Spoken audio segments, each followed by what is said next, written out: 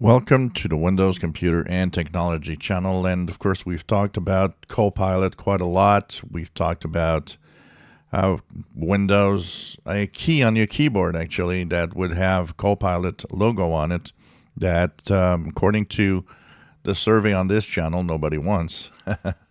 and, anyways, uh, a lot of you also are writing. Another thing is, you know, where are you going to put it? Are You're going to replace a key with it, or are you're just going to add another key to make keys even smaller? Uh, our keyboards are already jam packed with quite a lot of, uh, of, features and things, so definitely uh, that is another uh, reason for not adding one, but apparently it's coming anyway. Uh, but the next Copilot thing coming is uh, apparently in some examination of code, some of the Twitter users that examine what's the changes in some of the insider builds mentioned that they've seen code that seems to want to integrate the Copilot with your File Explorer. So um, I wonder exactly what it's going to do, how it's going to do it. Will it scan your files? What will it do there exactly? Um, it's anybody's guess, but it's kind of weird to see that Copilot will want to help you there. Then again, I would see that if Windows 12 is AI driven, Copilot will probably be in every app, in every aspect, in every little corner of your PC. So, what will it do? If, you know, I would see it probably trying to help you find files or specific things, including very specific items within files.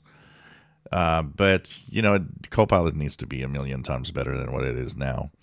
Uh, what's even worse is that Dell has actually done kind of a demonstration of what a Copilot could be all about. And it's like just a demo, but it's like a million times better than Copilot that Microsoft does. So I guess Microsoft should talk to Dell and see what the ideas behind what Dell wanted to do with an AI assistant uh, could maybe help them have a better AI assistant that's rather crappy right now. So uh, it really seems like the Copilot will be everywhere within Windows, and this is uh, is it bad or good? I, I don't know exactly where yet. You know, Cortana was there. Cortana could do things, but Cortana was not necessarily there to mess with anything. Uh, here, I have the impression of an integration that could easily mess up a lot of what we do on Windows.